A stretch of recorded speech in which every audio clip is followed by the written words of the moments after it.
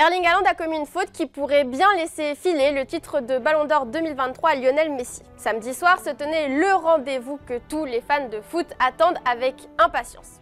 La finale de la Ligue des Champions. Cette saison, Manchester City affrontait l'Inter Milan. Les Citizens étaient les nets favoris de ce match, mais la tâche n'a pas été du tout facile pour les hommes de Pep Guardiola. À la 68e minute, les Sky Blues se sont réveillés. Rodri a ouvert le score d'une frappe puissante sur un ballon contré dans la surface qui n'a laissé aucune chance à André Onana. La fin de match a été très intense et plusieurs joueurs des Sky Blues ont perdu leur sang-froid suite aux offensives des interistes après le but. Principalement Erling Haaland qui en plus n'a pas été brillant lors de cette finale. Il a été bien cerné par la défense de l'Inter, le Norvégien a été incapable de se créer des occasions. Cette frustration lui a même coûté un carton jaune inutile dans le temps additionnel suite à une altercation avec Onana. Alors que le match devenait fou, l'attaquant de 22 ans a commis une faute dans une zone intéressante pour l'Inter qui aurait pu se transformer en un superbe but si Nicolo Barella avait cadré sa frappe, ce qui n'est pas le cas. Juste avant le coup de sifflet final, Ederson a encore sauvé les siens sur la toute dernière action du match avec une tête de Gossens dégagée donc par le gardien brésilien.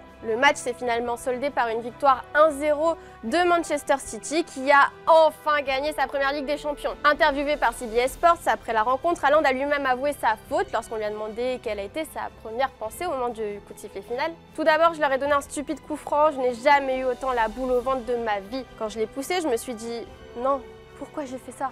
Je leur ai donné une chance. Le Norvégien s'est ensuite réjoui de sa victoire en Ligue des Champions dès sa première saison avec Manchester City. Dans mes rêves les plus fous, je n'aurais jamais pensé à cela. Ça montre que c'est possible pour un gars qui vient d'une petite ville de Norvège. Cela donne de l'espoir aux jeunes de ma ville. C'est incroyable. Haaland a vécu une saison extraordinaire avec City. Le Norvégien a remporté le triplé, Coupe, Championnat, Ligue des Champions, une première en Angleterre depuis Manchester United en 1999. Auteur de 52 buts et 9 passes décisives, Haaland est un sérieux candidat à la course au Ballon d'Or 2023, aux côtés de Lionel Messi, et pourquoi pas aussi Kevin De Bruyne, on t'oublie pas poto. Mais bon, gros duel entre Haaland et Messi, sachant que Messi a quand même remporté la Coupe du Monde 2022 dans un effectif qui a joué autour de lui. Lionel Messi a d'ailleurs remporté le prix du meilleur joueur de la Coupe du Monde, il a inscrit 7 buts et 3 passes décisives en 8 matchs. Haaland, quant à lui, n'a pas été élu meilleur joueur de la Ligue des Champions. Le trophée a été remporté par Rodri qui a donné la victoire lors de la finale en inscrivant le seul but de la rencontre. Le Norvégien a souvent été absent lors des rencontres importantes, comme lors de cette finale de Ligue des Champions, alors qu'il était considéré comme un atout important des Citizens. En plus, la victoire de Manchester City en championnat et en Ligue des Champions a plus été un résultat d'équipe avec des joueurs talentueux dans tous les secteurs de jeu. En club avec le PSG, Messi a plutôt fini la saison avec de très bonnes statistiques. 21 buts, 20 passes décisives cette saison. L'Argentin finit donc meilleur passeur de Ligue 1. Passons maintenant à un autre sujet, mais restons du côté de Manchester City. Un joueur est entré dans l'histoire du football. Il s'agit de Julian Alvarez. L'attaquant de City est le premier joueur argentin de l'histoire à avoir remporté la Coupe du Monde et la Ligue des Champions la même saison.